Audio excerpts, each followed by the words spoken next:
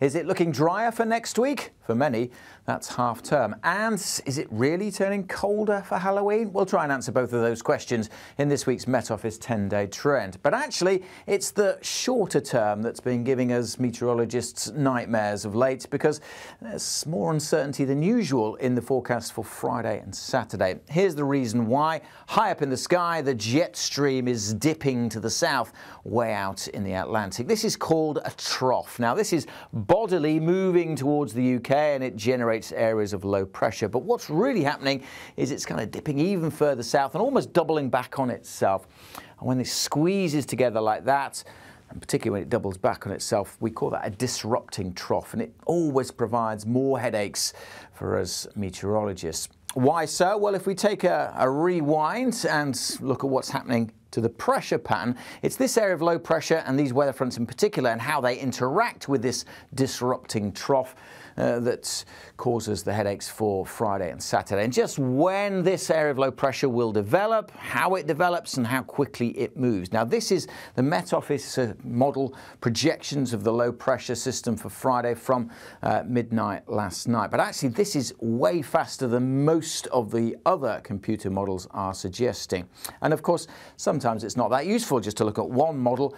It's useful to look at many. And we also use something called ensembles, where we run the same model but many, many times. And that's what this is showing. We call this a Dalmatian plot. Each one of these dots is representative of where that low pressure could be. And these are previous runs from the European model, and they're actually showing that over the past couple of runs in particular, there's been more clustering of the low pressure down to the southwest of the UK. You can see it more clearly here, these dots clustering down to the southwest. So the most likely scenario, instead of that low whizzing across the UK, is that it's sitting more down to the southwest between the Republic of Ireland and Cornwall, probably midday on Friday. So this is the most likely scenario now, generating a band of rain crossing the country on Friday that could be quite heavy in places as well. And then that low drifting its way slowly north and eastwards. Notice the isobars quite close together. That could generate some quite gusty winds uh, across the southwest in particular before that low kind of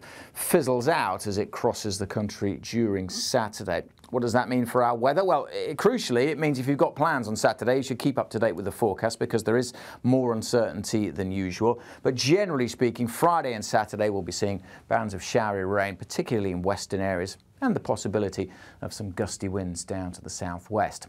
Now, I'd love to tell you that the weather gets more straightforward after that, but actually, it doesn't really. For Sunday and Monday in particular, there's still complications. And again, it's the bigger picture that tells us why. So that dip in the jet stream, that is clearing away, that trough, and the jet is now coming more in from the west, but it's being fed by a couple of different arms, if you like. And this little fella is uh, in particular giving us even more headaches because that has the tropical remnants of Hurricane Oscar mixed into it. No longer a hurricane, but it does have that tropical air in it. And if we zoom in and run through the weekend, what happens is a bit of that warmer air gets pushed further ahead and generates its own little area of low pressure. So this is a weather system, little area of low, depending on exactly how it interacts with the jet stream will uh, determine its track, but it's, it's still got some tropical air mixed in with it, so it's likely to bring a lot of moisture, a lot of cloud, and some outbreaks of rain coming in from the west on that more active jet stream through Sunday and into Monday. So, what does that mean? Well, again, it looks like western areas will see the wettest weather for Sunday and Monday, and that's what's being backed up here by uh, the Met Office, European, and GFS, the American computer model.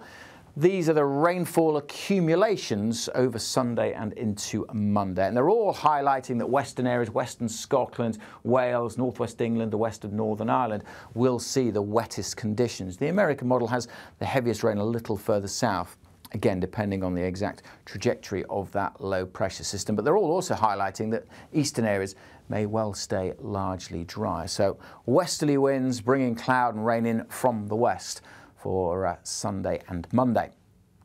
Slightly counterintuitively, this is one of those 10-day trends where actually the longer range into next week, we have more confidence in the forecast than in the short to medium term because there's quite a strong signal that for next week, half term for many, this will be the pressure pattern, the dominant weather situation with high pressure sitting somewhere close to the United Kingdom. Now, high pressure means the air is sinking, so that would bring a lot of dry weather. Still quite breezy with the isobars closer together closer to the low pressure systems to the far northwest. But um, in this weather scenario, which is most likely through the middle of next week, that would bring quite a lot of dry weather. Not necessarily sunny, it's likely to be quite cloudy and a bit dank and murky at times as well. But that is backed up by this graph, which is the multi-model probabilities, where we look at all of the computer models and run the ensembles and get percentages of the, the different flavors of weather, if you like. And the, the dominant one through next week, Tuesday, Wednesday, Thursday in particular, is this mid-orange color,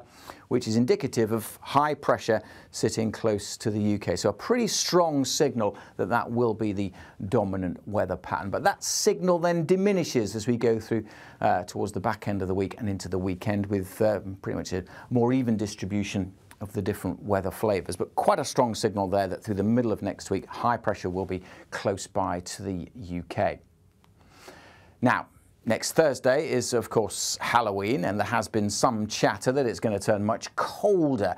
Uh, this horror show is the European postage stamps. Again, the ensemble weather forecasts where we run the computer model many, many times. 50 different postage stamps here 50 different possible scenarios. The colours representing basically the, warmth of the air, with the yellows and the oranges milder and the greens and the blues colder. And you can just about make out, particularly if I zoom in, that most of them have the UK covered in the warmer air, uh, the yellows and the oranges. But there are a couple member 23 here and member 11 that have the, the cooler air, certainly trying to push in across northern parts of the UK. But that's a couple of examples out of 50, so less than a 5% chance of that happening. And even if these were to come off, it would just indicate that it would be turning a bit colder across the north and there may be some snow on the Scottish hills, which isn't unusual for the end of October. So uh, no strong signals that uh, Halloween is at all going to be particularly cold. In fact, for most of next week, temperatures are around about average, generally speaking,